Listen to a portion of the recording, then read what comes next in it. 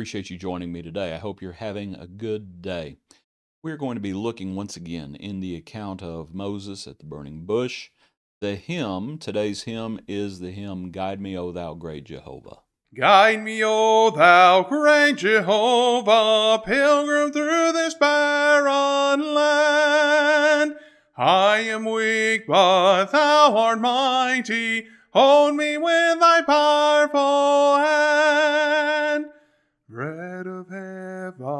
Feed me till I want no more. Bread of heaven, feed me till I want no more. I'd like to go and look at the next verses as well. Open now the crystal fountain. And as we think about the hymn, and we're thinking about Moses at the burning bush, I would ask you to think about the journey that Moses is embarking on. Open now the crystal fountain, whence the healing waters flow. Let the fiery, cloudy pillar lead me all my journey through. Strong deliverer, be thou still my strength and shield. Strong deliverer, be thou still my strength and shield. When I tread the verge of Jordan, Bid my anxious fears subside. Bear me through the swelling current. Land me safe on Canaan's side. Songs of praises I will ever give to thee. Songs of praises I will ever give to thee. Guide me, O thou, great Jehovah, pilgrim through this barren land. The account of the burning bush is found in Exodus chapter 3. As Moses has now been in Midian for 40 years after fleeing Egypt. And here in the chapter, as uh, hopefully you're familiar with it, but as Moses looks and we have the bush that burns, but it is not consumed. And then the Lord speaks to him, tells him to take the sandals off of his feet, and we have the remainder of the account. In verse 10, as the Lord relays that the time for deliverance has come, that he has seen the oppression. Verse 10 Come now, therefore, I will send you to Pharaoh, that you, bring, that you may bring my people, the children of Israel, out of Egypt. But Moses said to God, Who am I that I should go to Pharaoh, and that I should bring the children of Israel out of Egypt? So he said, I will certainly be with you, and this shall be a sign to you that I have sent you. When you have brought the people out of Egypt, you shall serve God on this mountain. And of course, we're talking about Mount Sinai. And I was just I, had never noticed before the language that the Lord uses there, that this that it's going to be a sign for them. That when they when he has brought the people out of Egypt, that they were going to serve God on Mount Sinai.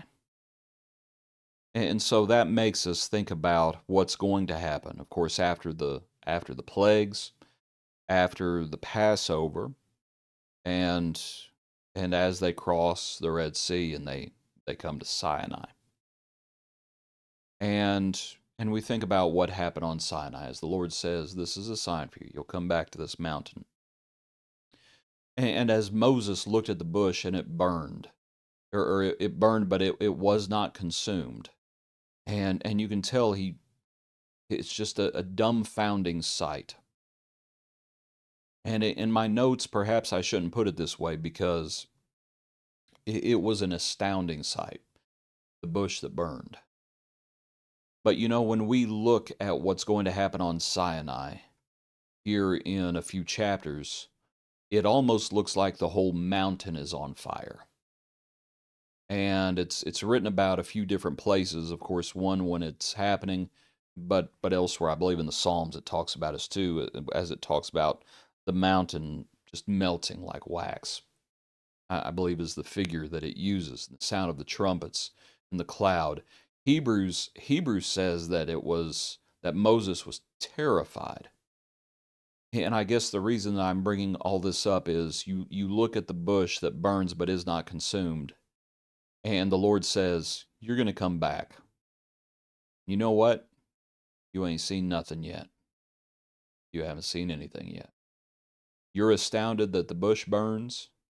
but is not consumed, just wait. Just wait.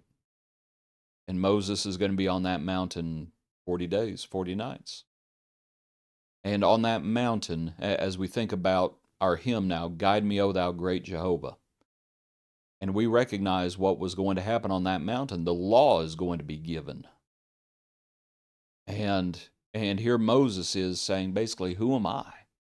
You know, who am I and how am I going to guide these people and you know all these things. And while Moses is thought of as a lawgiver, ultimately God's the lawgiver. Um, that Moses was a type of he who would come after him. And so Moses, in that sense, served as mediator and was meant to point people to God. We could say the same thing about Jesus. Philip, show us the Father. What's Jesus say? How long have I been with you? Pointing people towards God. But God saying, You're going to come back to this mountain. And I understand you're, you're, you're afraid, he's afraid of going to Egypt and you have hundreds of thousands of people who are going to come out of Egypt. It's how how is this going to work? God says, I'm going to guide you. Come back to this mountain. There's going to be a sign. The law is going to be given. But of course, also at Sinai, we know, and to just think about the journey that Moses is on, the journey that he's embarking on you know, as again to go through the plagues and appearing before Pharaoh, and eventually Pharaoh, you know, begging them to leave, and Pharaoh chasing after them. You know, you have all those things, but then you, you know, you get into the journey going forward, and and you have the cloud, and you have the pillar, and you have the spies being sent into Canaan land. The spies coming back, giving a bad report, except for Joshua and Caleb. You have the wandering years in the wilderness you have all of those things happening and and of course Moses because he strikes the rock at a certain point instead of speaking to it and he's kept out of the promised land but the Lord takes him up he he allows him to go up on top of Mount Pisgah and look out into the promised land and Moses is going to Moses is going to pass there and the Lord is going to bury him and all that's to say you think about this journey that he's on and starting on Mount Sinai and there's trouble from outside and there's trouble from inside because at Sinai, what happens? They play the harlot. Moses comes down and he sees what his brethren have been doing. And and it's a sad scene. It's a sad scene, but at the same time it's a it's a powerful scene. That you're going to have trouble from outside, Pharaoh, you're going to have trouble from inside. And a lack of discipline and disobedience things along those lines. The Lord says, Come back. You're going to come back to this mountain. You're going to worship. You shall serve God on this mountain. And that is what happens. That is what happens.